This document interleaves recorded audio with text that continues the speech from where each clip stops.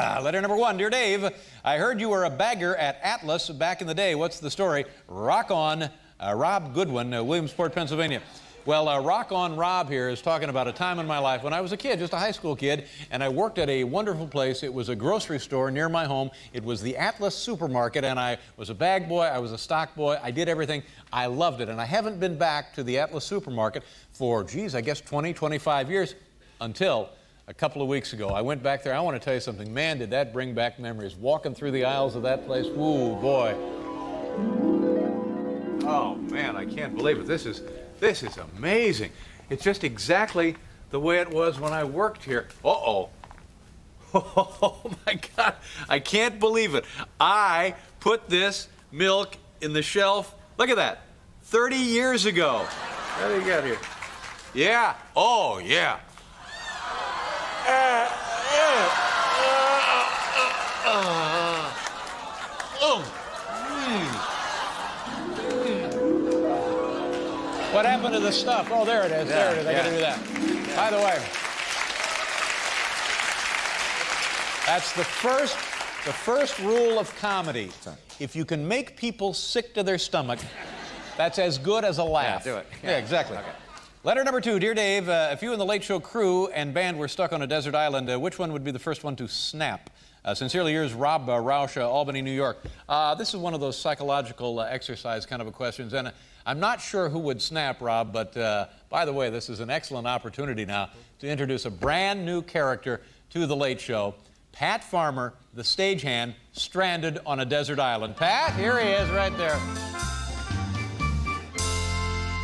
For seven long years, I've been stranded on this island, my skin baking in the merciless sun my throat stinging with the sharp tang of salt water. Nothing to do but scratch the names of loved ones in the sand and watch as the waves wash them away. Like few other men, I truly know what it means to be alone. Hey, Pat. Hey, Ken, what's up? Want to go grab a beer? Sure.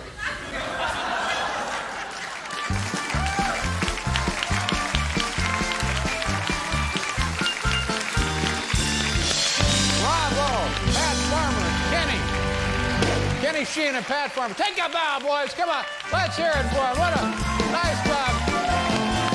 There they are. Wow, that was...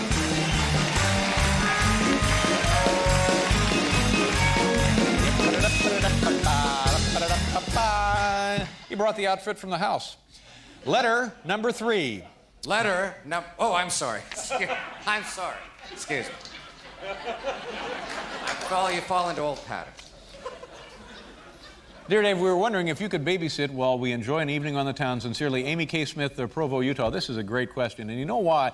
Because recently, here at The Late Show, a lot of our staff members, a lot of our good friends have been having uh, babies.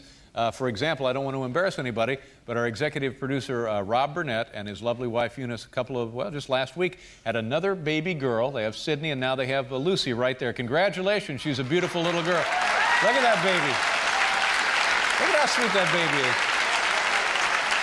Cute. All right.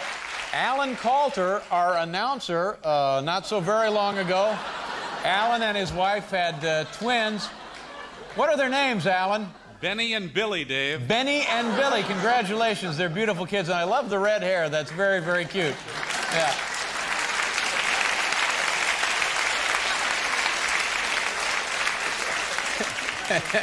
I believe that's the only case uh, ever in the history of recorded medicine that a child has been born with a toupee. Is, am I right about that? It has never happened before. And, and uh, about seven months ago, our, our band leader, uh, Paul Shaffer, and his lovely wife, uh, Kathy, also uh, had a baby. What, what's your baby's name, Paul? What's the baby's name? This is, uh, this is Sam. Sam. Oh. Yeah, and he's, isn't he? He has your eyes. Yeah. He really has your eyes. Thank you. Yeah. I didn't. And, uh, does your wife have the purple hair? She doesn't. No. She doesn't have the purple hair. Just black hair. So yeah. I don't know. Oh, right in. Speak into the mic there. That's uh, let's just keep. purple hair. We thought we thought it'd be better we just go with the purple hair. Uh, letter number four. Hey Dave, has Biff ever sumo wrestled a chicken? Sincerely, Glenn Hams, uh, Gresham, Oregon. Well, how about it, Biff? Uh, Biff Henderson, where are you? Have you ever have you ever sumo wrestled a chicken? Dave, that's stuff for kids. but I have dabbled in the martial arts. Bring it on, John Kitty. Come on, baby. Come on. Good stuff. well, there you go. That's the old CBS mailbag.